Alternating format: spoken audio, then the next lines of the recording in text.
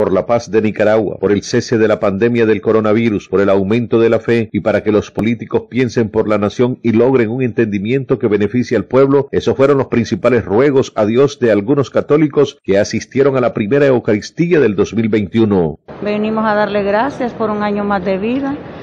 Venimos a pedirle al Señor que nos ayude a vivir en medio de las situaciones que estamos viviendo llenos de fe, alegría y esperanza bueno, que nos proteja y que nos ayude a salir adelante y que traiga la paz a Nicaragua y al mundo entero y la libertad para los presos políticos siempre la pido. Que haya paz en Nicaragua, que lleguen a acuerdo los gobernadores de este país.